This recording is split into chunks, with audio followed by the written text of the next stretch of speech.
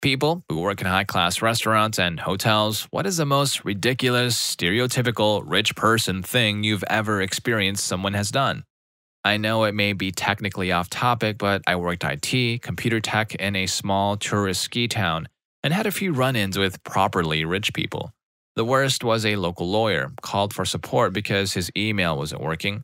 I showed up, no one at my office would take the call, but I was young and eager for work and asked, What's the problem? He told me he didn't have the time to explain the problem, that his time was too valuable and I should just figure it out because that's what he paid me for. Let me assure you, as someone that bills by the hour, I definitely made that one work. The others are actually way more positive, though also super wealthy. First, old lady calls up and the computer has a virus.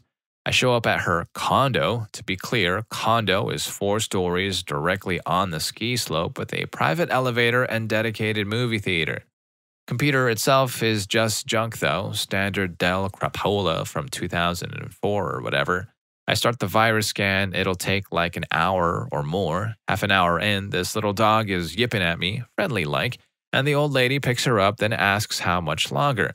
I tell her I can't really say. Scan has another 30 minutes, but if a virus shows up, I could take a lot longer to clean up.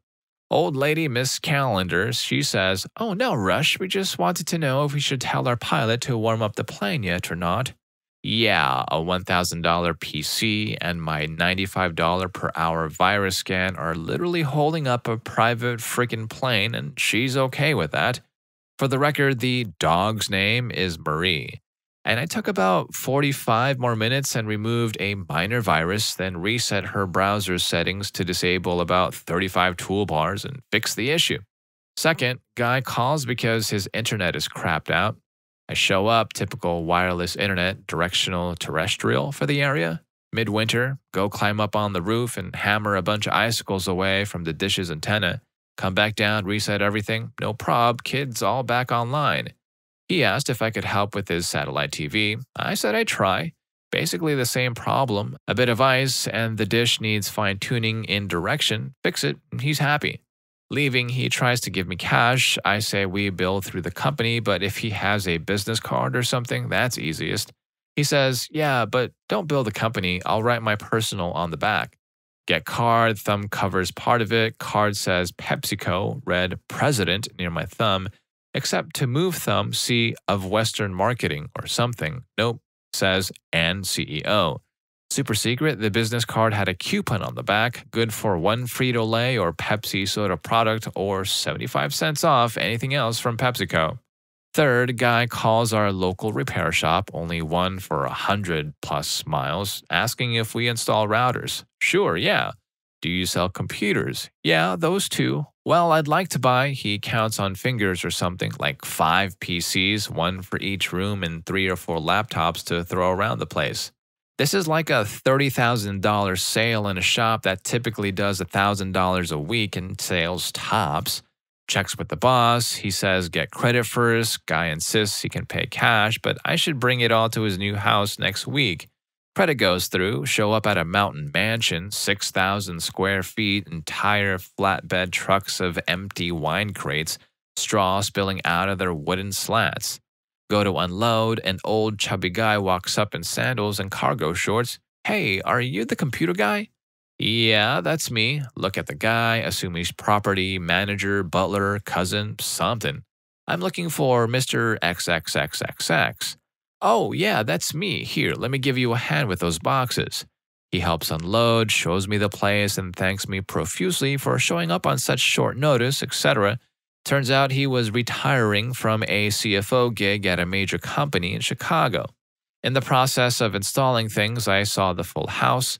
Wine cellar alone was huge 18 foot ceilings with a rolling library style ladder on a half moon shelf of wine. Connected directly to that was a walk in humidor. Outside of that, a massive media slash theater room. The whole house was connected to a smart home system that juggled a DVD jukebox, this was before streaming, to every TV in the house, complete with 12 inch touchscreen tablet remotes that, when carried, would cause the show to follow you from room to room, opening and closing hidden screens, curtains, and activating dimming lights. Insane, and yet the guy was super friendly. I love the positive stories in this one, and damn, that house in number three sounds like a dream. Story two I'm none of the above, but a soldier. We held an annual ball at a local marina hotel restaurant and bar and had it reserved for the evening. The barkeep and the host grabs our commander a few hours into the event and says, There's a guy, he's been a daily regular for the past 15 years, who wants to grab his usual nightcap. Do you mind? The commander agrees, and the gentleman comes in, sits at his spot, and proceeds to enjoy the show while occasionally covering costs for those of us grabbing drinks in exchange for a little small talk about what we do. After about three hours, he grabs his coat and heads out.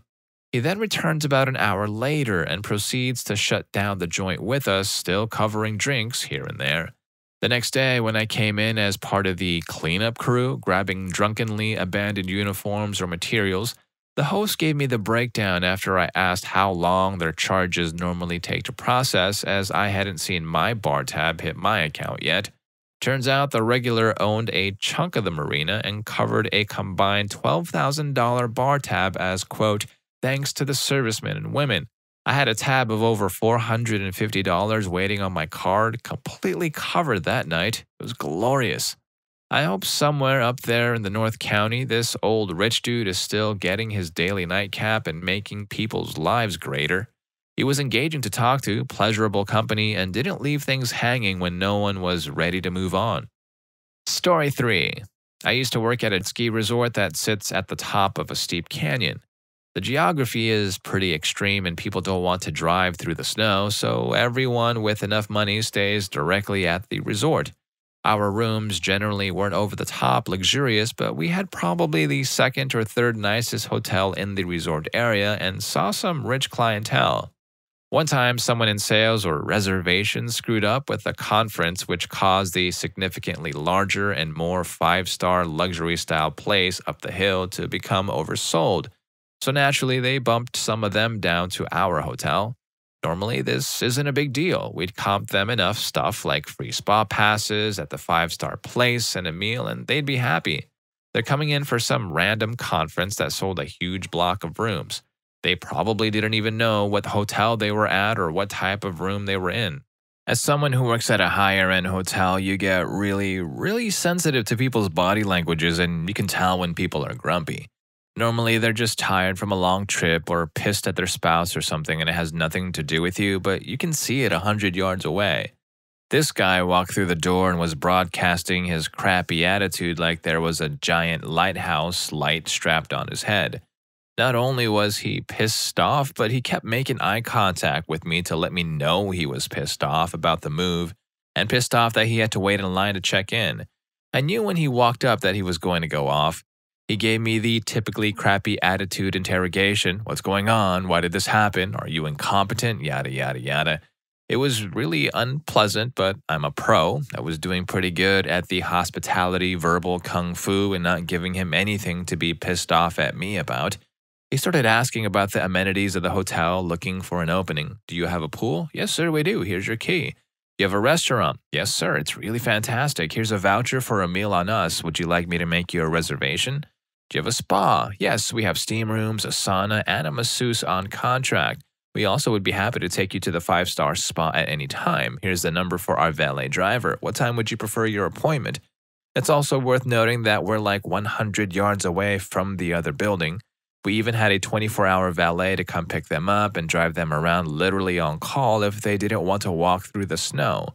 We have a better restaurant than the five star place at normal prices, a nice gym, nice pool, the whole nine yards. This was a wipe your bum if you ask, nice kind of hospitality environment that most people really enjoyed. He couldn't really find anything to complain about, but he was still interrogating me. Then he asked me about the ski lockers. Do you have ski lockers? Yes, sir. The ski locker is on the first floor just across the walkway from the tram center, so you can unload without having to walk up any stairs. The locker number is just your room number. Here's your combination. Do you have boot warmers? No, sir, we do not. He'd finally found something to go off about. The dude threw his head back and let out a big, Oh, you don't have boot warmers? What kind of place doesn't have boot warmers in the locker room? You expect me to put on my skis when they're frozen cold in the morning. What am I supposed to do? Put them in my room where they'll get all smelly? Dude proceeded to unleash on me for a good three or four minutes all the pent up rage he'd been building for the last hour or so. Except his target was how ridiculous it was that we didn't have electric boot warmers in his private ski locker at the luxury hotel. I worked in high end hospitality for 10 years, and probably the second worst chewing I ever received from a customer was over our lack of frickin' boot warmers. If you're wondering what my first worst chewing was, it's not that great of a story. This lady had a weird thing about being in a room with an adjoining door and let us know well ahead of time to make sure she got a room that didn't have one. Someone moved people around without checking the notes, and she ended up in a weird room with an adjoining door. We had literally burned all the vacant rooms fixing other issues with guests. In instances like that, where we made a mistake and people get really irate, we can book them at other hotels and generally fall over backwards, but the roads were closed because of winter conditions, and all our rooms were occupied, so there was literally nothing I could do. She kind of just awkwardly berated me for a long time, even after she realized that I had no control over the situation. I kind of snapped at her after a while and called her out for being crappy to me, and then it got super awkward and she just sort of left. She was there for like a week and we avoided each other the whole time. The boot warmer guy was way more ridiculous and hilarious, but he was only there for a few minutes. This lady was standing in the hotel lobby telling me this is unacceptable on repeat for like two hours. It was awful. I really hope he realized at some point how ridiculous he must have looked and sounded fishing so hard for something to be mad about. And since we're already halfway through the video, please do hit that like button and subscribe to my channel. It really helps us out. Big thank you. Let's go ahead and get back to the stories. Story 4. I have a positive one to throw in amidst all the negative. I'm loosely acquainted with someone who is obscenely rich he dated my best friend for a while back when we were in college, and as you can imagine, he bought her fancy things all the time, took her on expensive family vacations with his folks, etc., etc. He was a stereotypical rich kid, but he was also kind and still very down to earth. They dated about a year, and in the spring, we went spring breaking in his family's condo at a famous spring break beach location, and there was just me, my best friend, him, and a couple of his friends. The group decided we wanted good old fashioned Waffle House breakfast after a night of revelry. After eating, I noticed he was lingering behind the group. He'd said he had to take a leak, but he stopped back by the table on his way out to the car. Curious, I ran back to the restrooms just so I could pass by the table to see what he'd done. He left the waitress a small pile of Benjamins as a tip. Had to be about four or five hundred dollars. I couldn't quite tell because they were folded and rumpled from being in his wallet. My mouth fell open when I saw it, and I forgot I was even heading to the restroom. I looked out by the car, and he was watching me through the glass windows, held up his finger to his lips, mouthing, shh, and beckoned me back out to the car. I didn't tell, but my eyes were glued to the table as we pulled away in his car. The waitress collapsed into the seat of the table when she saw it, pretty sure she was crying. Letting that guy get away was the dumbest thing my best friend ever did in her life. Story 5 I operated a premium chain restaurant in Canada. One day, this Indian gentleman started coming in, at first by himself. On the first day, he spent $200 on wine and tipped $1,000. The next day, he did the same again. When we saw him the third time, I had servers fighting over him. Anyway, one evening he got buzzed on wine, and Brad, the busboy, made the mistake complimenting his watch. Mr. S takes off his tag and gives it to Brad. The next morning, Mr. S comes back to get his car and asks if Brad is there. I say yes and go get him. Brad knows what's up and is removing the watch as he walks over to Mr. S. Mr. S says, Brad, I'm really sorry I got buzzed last night and I gave you my watch. Brad is chuckling as he is removing the watch and says it's no problem and he was just holding the watch until Mr. S returned. The next thing Mr. S said, I could not believe. Uh, Brad, no, you don't understand. I'm sorry because it was very rude of me to give you a used gift. And at that moment, Mr. S pulled out a box with a brand new TAG Heuer inside and handed it over to Brad. Another one, I got interviewed at a large hotel attached to a casino, and while I was being shown around the front desk, a woman walked up, said nothing, and got room keys after being greeted by the front desk agent. She immediately turned and walked away. Then the manager who was interviewing turned to me and said, That's Miss Rich Lady Pants. You never ask her for her name, her ID, or God forbid, a credit card. She stays here comped once or twice a week because her husband spends so much in the casino.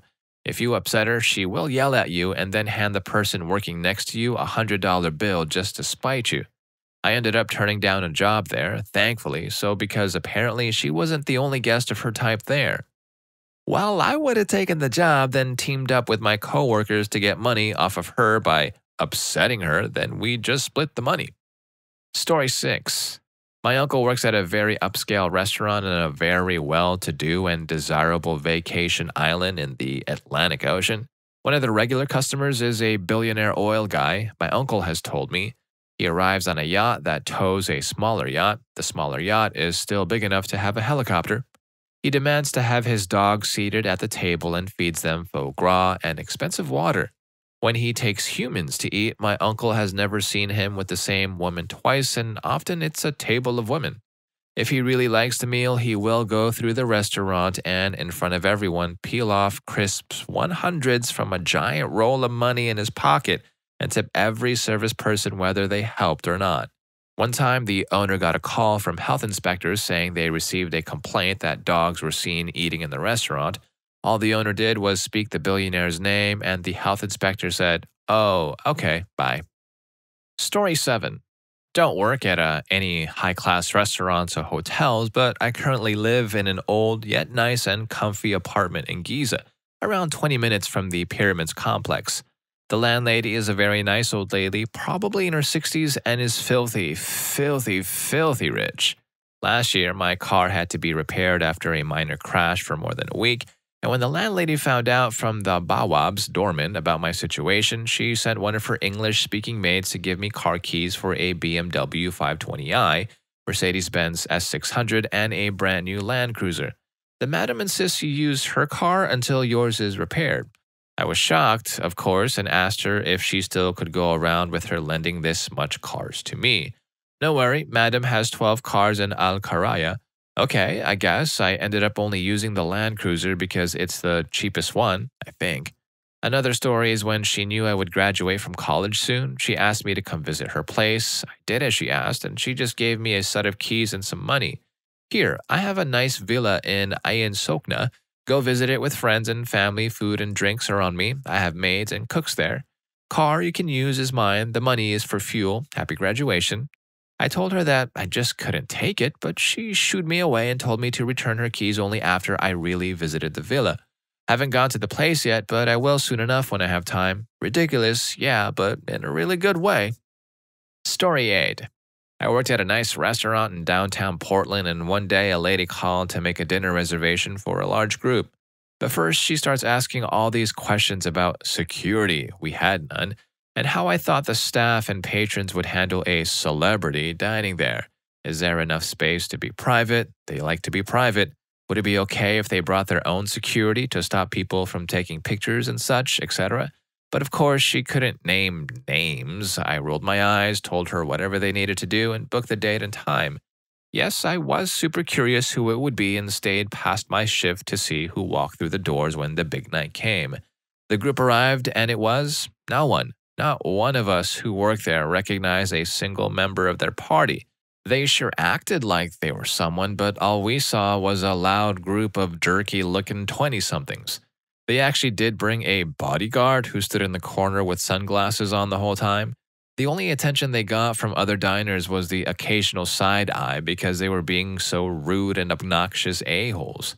Shock of shocks, they treated our staff horribly and tipped even worse. We'll never know who that person thought they were. This happened about nine years ago, so a little before the YouTuber invasion, I think, but maybe not. Just some punks who thought they were someone. For those of you asking about the autograt, that actually jogged a whole new memory. We did try to add 18%, but the party threw a massive fit about that, complained about the service, which I'm sure was fine. It was a well known place and refused to pay it, so the manager took it off so as not to create a bigger scene. Left the server in tears. I think everyone just wanted to get them out by that point. Story 9. I work at a ridiculously upscale steakhouse in Manhattan while in college as a hostess. We have some of the most demanding and exclusive clients come in daily, and I have a lot of stories. Our guests range from Michael Cohen, Steve Madden, Anderson Cooper to lesser known real housewife stars and just filthy rich businessmen and women.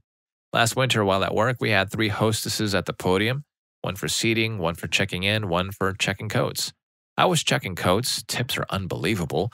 Well, and it was around 7 p.m., our busiest hour, and we usually do around 300 covers per night, and we have an entire bar apart from the restaurant side, so it is always hectic. Well, a lady checks in with her husband and hands me her coat. I hand her her ticket number for her coat, then proceed to hang it up and mark it with all of the other coats in the closet. In the closet were mainly mink coats during the winter, easily upwards of $15,000 and more. Moncler, Burberry, Gucci, etc. Well, her coat was a Moncler coat. It's easy to remember at that moment who had what coat, but after checking in 200 other coats, I totally forgot what kind of coat this woman had, and she was not a regular client, so I didn't make a special note. Well, fast forward two hours later, they're leaving. She hands me her ticket, and I go to get her coat. And when I come back, I hand it to her. She looks at me absurdly and goes, That's not my coat with her wine glass in her hand. I go, Oh, okay, are you positive? What did your coat look like by chance? She snuffed and said, Seriously, isn't it your job to know that? So I asked her to come to the coat room with me so we could locate her jacket. She wrinkled her nose and told me I was a frickin' joke for not being able to do such a simple job. I apologized and walked her to the coat closet. We searched high and low for about an hour for her coat, and at that point she was screaming at me every name in the book.